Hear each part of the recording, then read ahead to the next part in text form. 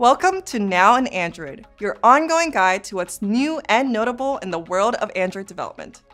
On this episode, we'll cover Google Play, Pixel Fold and Pixel Tablet, multi-device, Jetpack Compose, Google Developer Expert, location, and more.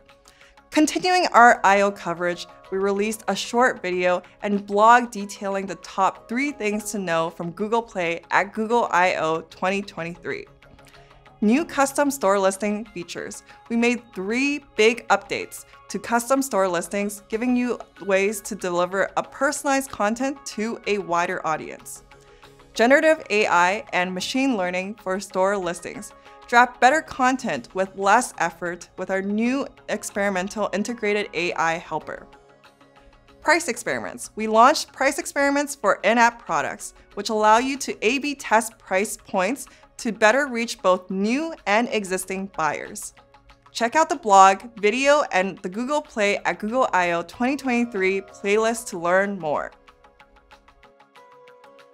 The new Pixel Fold and Pixel Tablet are here. We have new content that you should check out in order to get your application ready for large and foldable screens. Developer Guide to Pixel Fold and Pixel Tablet for specific recommendations on how to get ready for these new Pixel devices. Detecting device type, how to know if a device is a foldable or a tablet.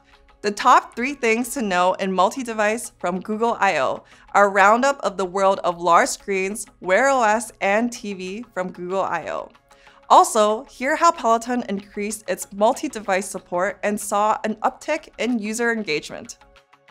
We had a bunch of exciting new features and behavior changes related to Compose show up in Android Jetpack. First of all, Compose UI 1.6 Alpha 1 and Compose Material 1.6 Alpha 1 now have include font padding switched to false by default. The default line height style has also been changed to trim none and alignment center. These changes might impact your screenshot tests. You can read an in-depth explanation on include font padding in the blog post Fixing Font Padding in Compose Text by Alejandra, Start testing your app switching to include font padding false today. Wear Compose 1.3 Alpha 1 release is also changing the default text style to turn off font padding to be consistent across the Android platform. Compose UI and Compose Animation 1.6 Alpha 1 include support for look ahead in Lazy List.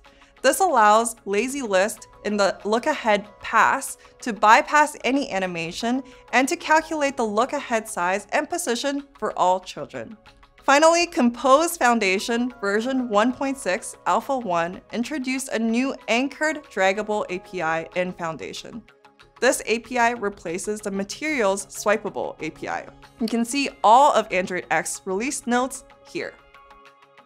Since launching the Google Developer Expert Spotlight series in early June, we released many more interviews with Android GDEs from around the world, including interviews with Ahmed, a software engineer from the Netherlands, Zarah, an Android developer from Australia, Anis, Vice President of Engineering from the USA, and Harun, a software engineer from Kenya.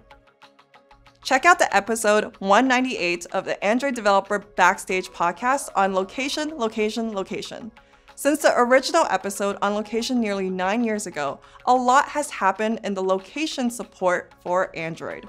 In this episode, Wyatt Riley and Roy Want answer all of Tor's questions on how it works, cover recent developments like indoor location and elevation, and go over tips for using location in your app.